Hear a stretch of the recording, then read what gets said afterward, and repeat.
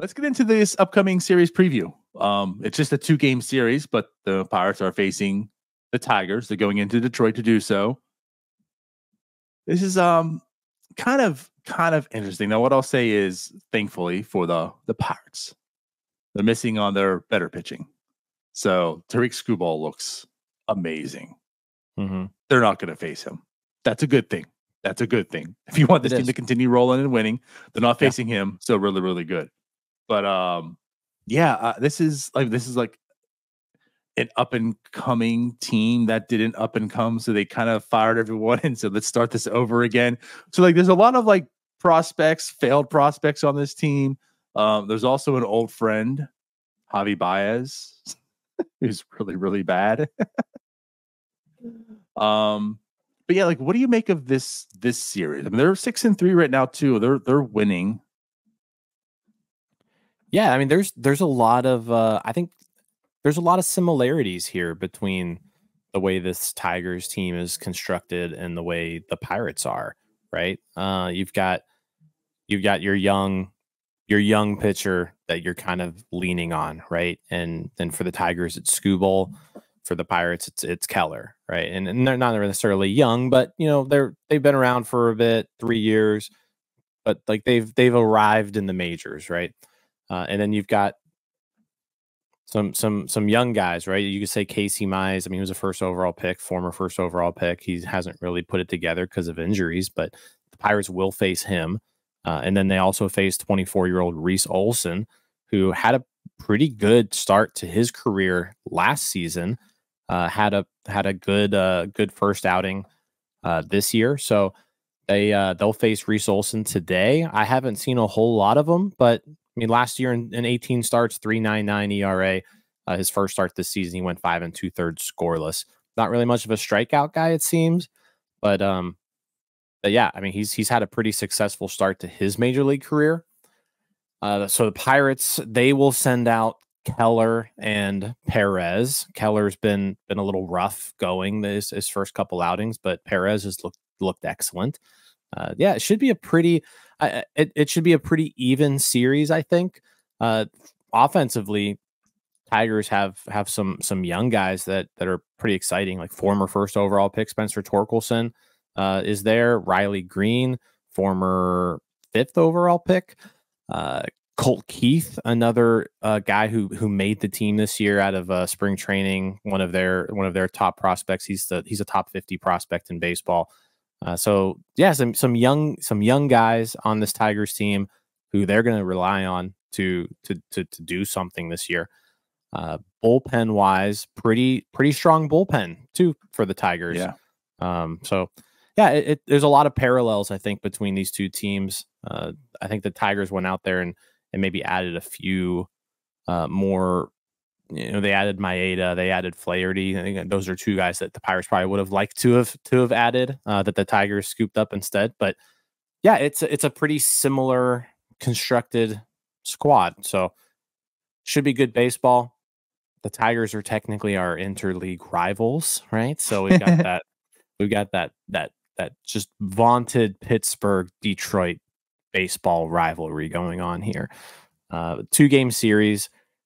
If you can take two here, hell, that, that puts you at 10 and two. Uh, it- but if, I mean, I- think you, you, you'd be happy taking one, you know, in this short two game series. But, uh, yeah, Right. so far, uh, they could take both. They could take both games for sure. Uh, I, I'm, I, I have, I'm, I'm, I'm curious to see this team. It's, uh, that's a lot, lot of similarities. Yeah, I think that's a good, fair assessment as far as like similarities, you know. But again, like we're missing out on their top pitching, so that bodes better for the Pirates. But albeit like Mitch Keller, you look at as like the ace on this team, he's had his struggles. Martin Perez has looked good, but two veteran guys going in there. The offense has been decent for them, but like also like Spencer Torkelson was top prospect, right? He's he's struggled.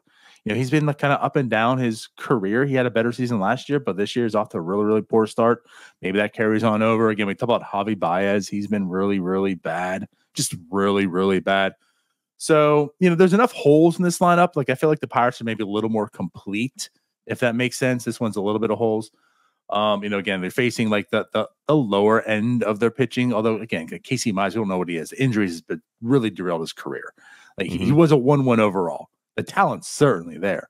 Um, and then I guess like with the bullpen, yeah, it's been strong. But what I'll say is with the bullpen, it goes they they do walk guys, and you mentioned like in Sunday what they didn't do right, but something they have done mostly for this season. They get back to is that they can capitalize on guys that run in like, scoring position, right? I mean, this team, the Pirates are about average team right now with guys in scoring position.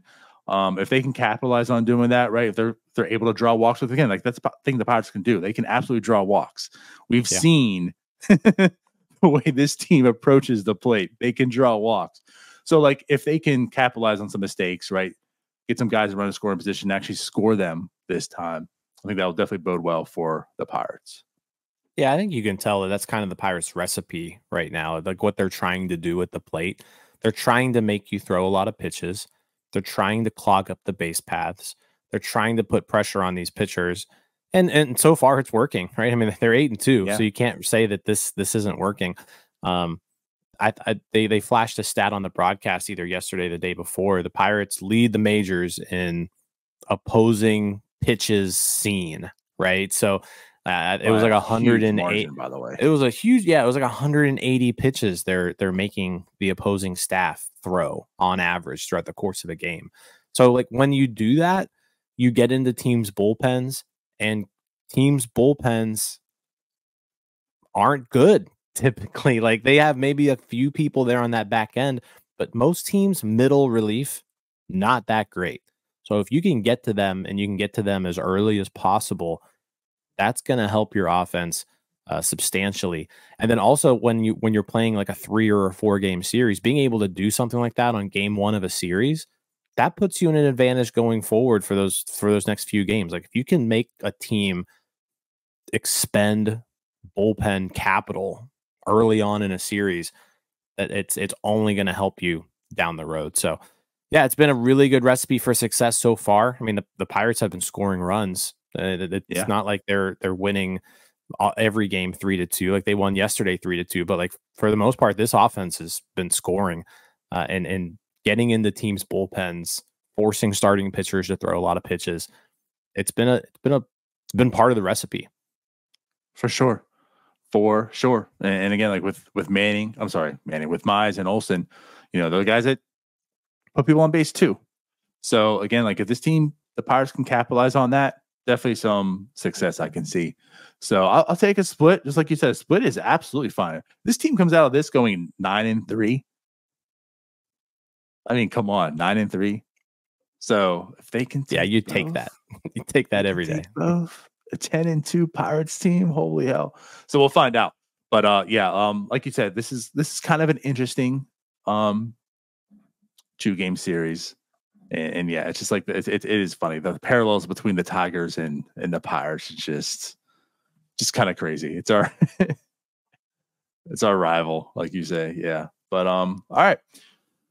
So yeah, you make a prediction? To, even down to like the Tigers and Pirates, the, the the two top pitching prospects in baseball, Pirates and Tigers. Oh, yeah. Both both yeah. guys who are just incredible stuff and it's like when are these guys going to get up to the majors? Like yeah there's a there's a lot of a lot of similarities here. Right. Just hopefully not the similarity of the pirates saying you know what? This rebuild didn't work. We gotta start fresh. Hoping there's no similarity there but outside yeah. of that for sure